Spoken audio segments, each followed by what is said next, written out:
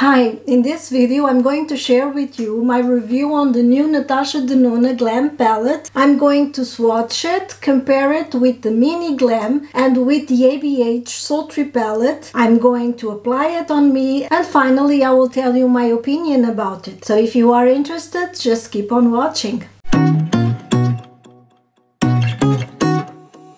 If you already saw one of my videos before, thank you for returning and if you are new to my channel, my name is Marisa, welcome. In here we talk about everything beauty and lifestyle, focusing on over 50 issues. So if you think that this content might interest you, please consider subscribing and following me on Instagram. The new medium-sized palette from Natasha Denona comes in the typical packaging for the medium-sized palettes in gray this time the cardboard box has ingredients, the names of the shades, their formula. The medium-sized palette from Natasha is the same as previous ones. Love palette, bronze palette, and sunrise and it has a big sized mirror on the inside 15 eyeshadows which have the total weight of 19.25 grams or 0.67 ounces they have on the back little holes through which we can pop out the eyeshadows which are magnetized. The color story of this palette is an extension of the mini palette Mini Glam and it's an arrangement of cool and neutral shades. It has only 5 mattes which are in the formula Creamy Matte, 9 metallics and 1 chroma crystal which is this one here, this pink shade. With this palette Natasha has introduced two new concepts, the eyeshadows, instead of having the typical usual names, are actually named according with a position in which Natasha thinks that the eyeshadow would be well placed or appropriate for. So for instance, this eyeshadow here is designated as, as center eyelid. The next one is the outer eyelid. Here is blend and here is smoke. Obviously the idea is to make the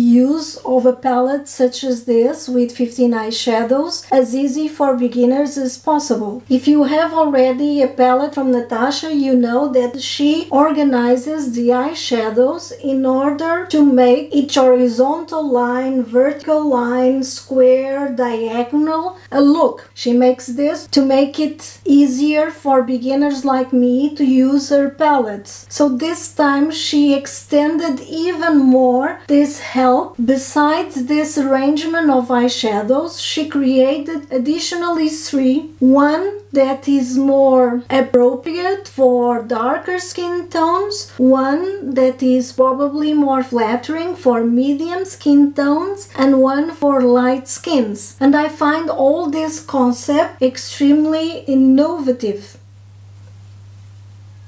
Innovative? You understand? very original, certainly unique. So let's go to the swatches.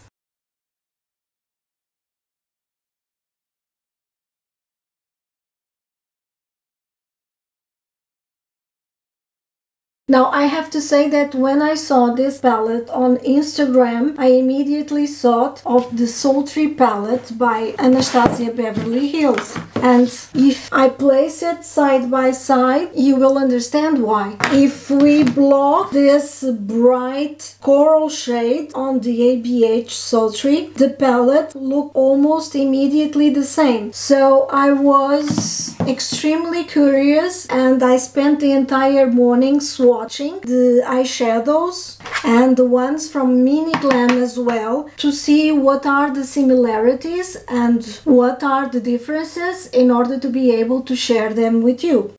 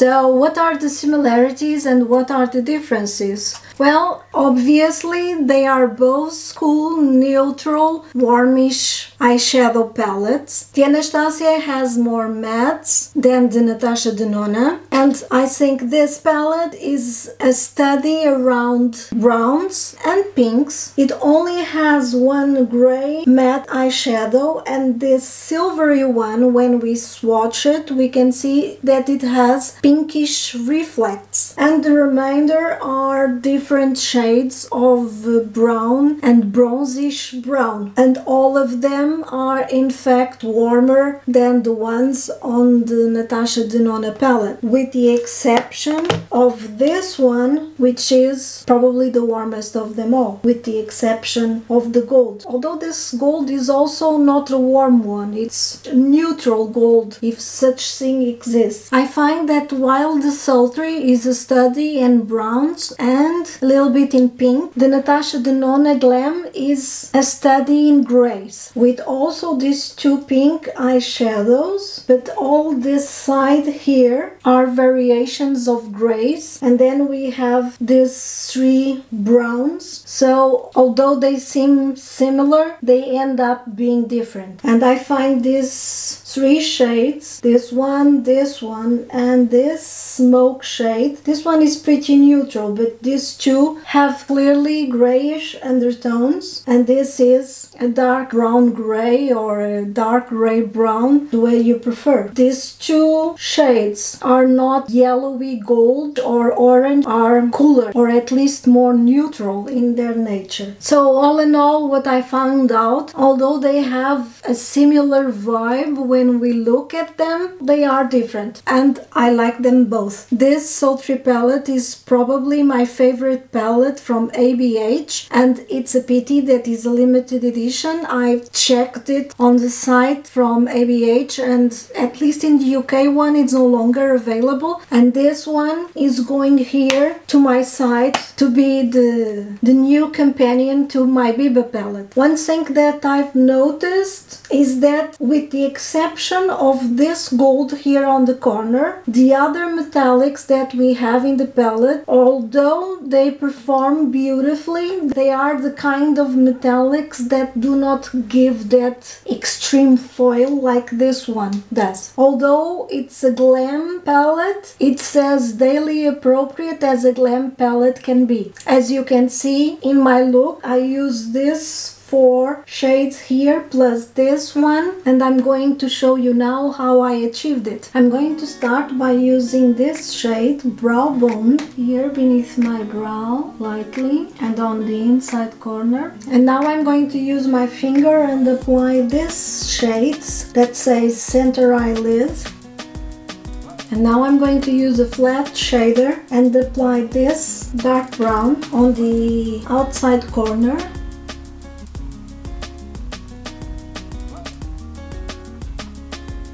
little bit on the bottom eyelashes as well and now I'm going to use a blender and I'm going to use this shade that says it is to blend here I really need to blend because this shade is a little bit more dark than I was expecting but it blends very easily. A little bit more of the brown and now I'm going to use a very small flat shader and I'm going to use the darker brown in the lash line.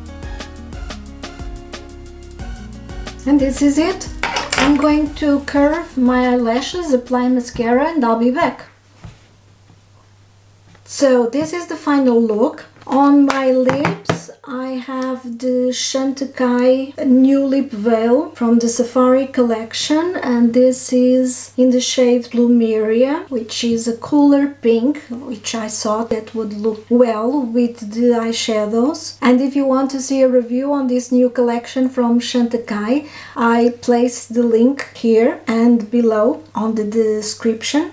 And on my cheeks I have the Radiance Chic. This is the on the pink shade the um, whale shark. So what do you think of my look you like it So what are my final thoughts regarding this palette? I think it's gorgeous. I mean, I think I like 95% of the color stories that Natasha Denona comes out with and this one is inside the 95% for certain. I think these shades are extremely wearable and I think I'm going to wear them quite a lot on the weekend or even on a day-to-day -day basis when I have the patience to put an eyeshadow look. I like the quality of the shadows. I didn't find any eyeshadow that was performing worse than what I expected from Natasha Denona eyeshadows. If you have the Sultry palette, do you need this one?